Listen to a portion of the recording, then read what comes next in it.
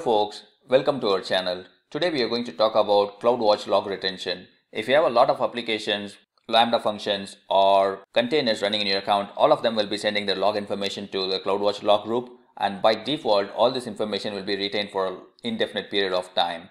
For better management of your applications and for easier troubleshooting, you should prune these logs to a finite period or it might be for cost saving reasons also.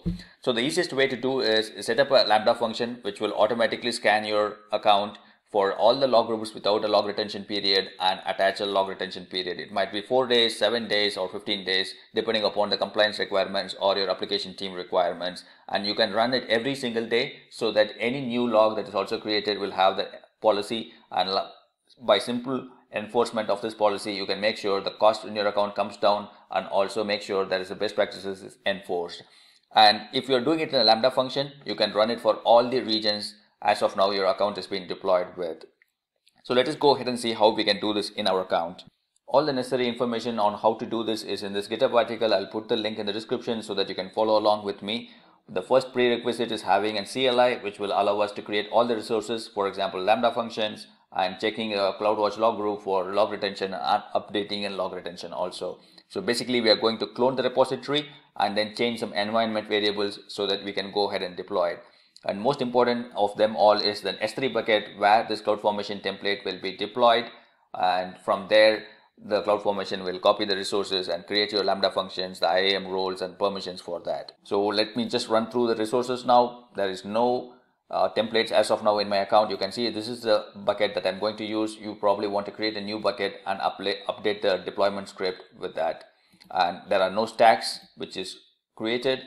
And likewise there are no lambda functions also. And I have four log files and all of them are set to never expire. And we are going to set an expiry of 14 days. And this is the CloudWatch log group rules which will be running every 24 hours so that my log group uh, retention is enforced. So let us begin by cloning this repository. So first I'm going to add execute permissions for my helper deployment scripts. And I'm going to next modify them and here you can see the bucket name. My bucket name is 011 it is updated correctly. If you want go ahead and change it. And if you want to change the template name also go ahead and change them here. So once you are done with it just going to save it. And once you're done you are ready to deploy. One most important step is under the source directory you will find only the bash script and the python script that is driving the lambda function is not there if you need them go ahead and put a message in the comment section or send an email to the galaxy let me copy it from my private repository to here now that file has been copied, let us go ahead and deploy our stack. So the stack is going to pack everything that is the code, the Lambda functions and then the stack and put it into an S3 bucket and from there a CloudFormation stack will be created. Let us go to our console and see what is happening there.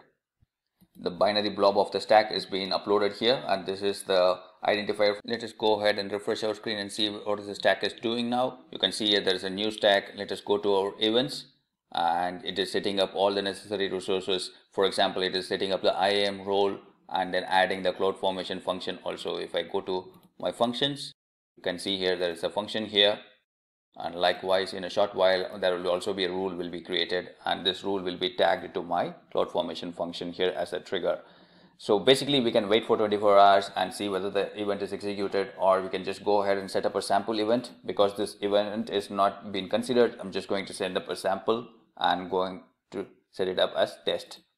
So let us click on this and if it is all successful I should be getting a message saying my log retention has been set and it will say which log file has been updated to what value. You can see here for this log group log retention has been set as one day and one day here and if I go to my uh, script the retention value is set up as a variable and we can go ahead and change it or there is an environment variable also you can see here the environment variable is 1 i'm just going to change it to 14 before going to change it here you can see here it is never expired and right now it is one day if i'm going to change it to 14 and click on save and i'm going to test it again and once it is completion of uh, execution let us go to our CloudWatch log group and we can see, check it out here. You can see it is updated to 14 days. So this is how you set up log retention for your account and this will do it in all the regions also. So if you want to go ahead and do this in your account, go ahead and put them in the comment section and we can communicate with each other. Thanks for watching. Happy learning.